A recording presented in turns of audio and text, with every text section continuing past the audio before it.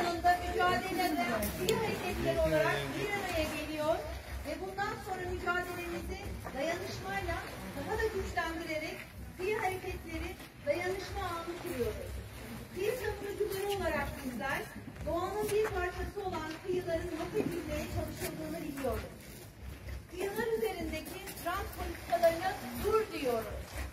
Çünkü bir yandan kıyıların işletmeye açılması yoluyla özel mülkleştirildiğini ve halkın serbest ve ücretsiz erişimine kapatıldığını görüyor. Bir yandan da kıyılardaki doğal yaşamı bozan tüm yapılaşma ve hizmet adı altındaki faaliyetlerin kıyı ekosistemine geri dönüşsüz zararlar verdiğini biliyoruz.